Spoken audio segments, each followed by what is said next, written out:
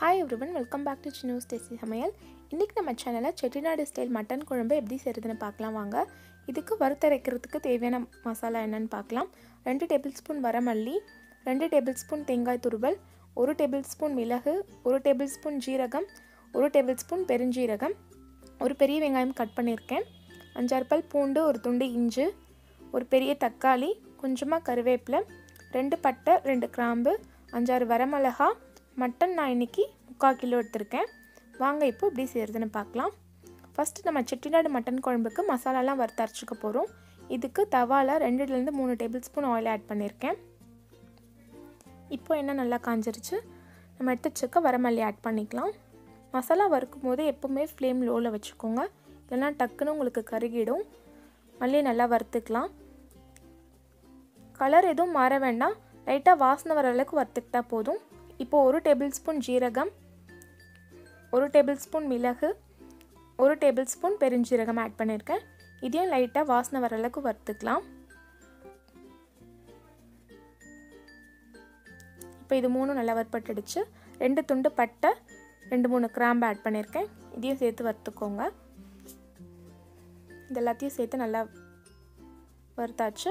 இப்போ நம்ம எடுத்து வச்சுருக்க காஞ்ச மிளகாய் ஆட் பண்ணியிருக்கலாம் நான் இன்றைக்கி ஆறுலேருந்து ஏழு காஞ்ச மிளகாய் ஆட் பண்ணியிருக்கேன் உங்களோட காரத்துக்கு ஏற்ற மாதிரி நீங்கள் கூடவோ குறைக்கவோ செஞ்சுக்கலாம். நான் இன்றைக்கி மிளகாவையும் வறுத்து எடுத்துட்டேன். இப்போது ரெண்டுலேருந்து மூணு டேபிள் ஸ்பூன் தேங்காய் துருவல் ஆட் பண்ணியிருக்கேன் ஃப்ரெஷ்ஷான தேங்காய் துருவல் ஆட் பண்ணிக்கோங்க நல்லாயிருக்கும். இதையும் சேர்த்து நம்ம இந்த சூட்லேயே லைட்டாக வறுத்துக்கலாம். இப்போ மசாலாலாம் வறுத்தாச்சு. இதை நல்லா நம்ம ரூம் டெம்பரேச்சருக்கு ஆற வச்சு மிக்ஸி ஜாரில் நல்லா ஃபைன் பவுடரை அரைச்சி எடுத்துக்கலாம். இப்போ அதே தவாவில் ரெண்டு டேபிள் ஸ்பூன் ஆயில் ஆட் பண்ணியிருக்கேன் இதில் நம்ம எடுத்து வச்சுருக்க வெங்காயம் சேர்த்து வதக்கிக்கலாம். நான் இன்றைக்கி ஒரு பெரிய வெங்காயம் எடுத்திருக்கேன். என்கிட்ட சின்ன வெங்காயம் இல்லை. உங்கள்கிட்ட சின்ன வெங்காயம் இருந்துச்சுன்னா ஒரு பத்துலேருந்து பதினஞ்சு சின்ன வெங்காயம் ஆட் பண்ணிக்கோங்க. மட்டன் குழம்பு நல்ல டேஸ்ட்டாக இருக்கும்.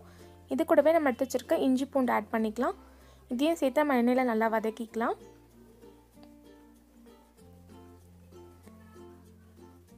இப்போது ஒரு தக்காளி ஆட் பண்ணுறேன் இதையும் சேர்த்து நல்லா வதக்கிக்கோங்க. இந்த வெங்காயம் தக்காளி இஞ்சி பூண்டு இது எல்லாத்தையும் சேர்த்து நம்ம முன்னாடி அரைச்ச மசாலாவோடு சேர்த்து அரைச்சிக்க போகிறோம் இதையும் நல்லா ரூம் டெம்பரேச்சருக்கு ஆற வச்சு மிக்ஸி ஜாரில் அரைச்சி எடுத்துக்கலாம். பாருங்கள் இப்போ மசாலா ட்ரான்ஸ்ஃபர் பண்ணிட்டேன் மிக்ஸி ஜாரில் இதை நல்லா ஃபைன் பவுடராக அரைச்சி எடுத்துக்கலாம். இது கூடவே வெங்காயம் தக்காளி இஞ்சி பூண்டையும் சேர்த்து நல்லா தண்ணி ஆட் பண்ணி ஃபைன் பேஸ்ட் அரைச்சி எடுத்தாச்சு. இப்போ மட்டன் குழம்பு செய்ய ஆரம்பிச்சிடலாம். குக்கரில் தேவையான அளவுக்கு ஆயில் ஆட் பண்ணிக்கோங்க. கொஞ்சம் ஜாஸ்தியாக ஆயில் ஆட் பண்ணிக்கிட்டால் மட்டன் குழம்பு நல்லா டேஸ்ட்டாக இருக்கும். இப்போது என்ன நல்லா காஞ்சிருச்சு. ஒரு டேபிள் ஸ்பூன் சோம்பு ஆட் பண்ணியிருக்கேன் சோம்பு ஆட் பண்ணுறதுனால மட்டன் குழம்பு நல்ல ஃப்ளேவராக இருக்கும். ரெண்டு பச்சை மிளகா ஸ்லிட் பண்ணி ஆட் பண்ணியிருக்கேன் ஒரு பெரிய வெங்காயம் ஸ்லைஸ் பண்ணி ஆட் பண்ணியிருக்கேன் இங்கேயும் வந்து நீங்கள் பெரிய வெங்காயம் ஆட் பண்ண வேண்டாம். சின்ன வெங்காயம் இருந்தால் சின்ன வெங்காயம் ஆட் பண்ணிக்கோங்க. நல்ல வாசனையாக இருக்கும் குழம்பு. இது கூடவே ஒரு கை கருவேப்பிலை ஆட் பண்ணுறேன் நல்லா வாசனையாக இருக்கும். எண்ணெயில் நம்ம கருவேப்பிலை தாளிக்கும் போது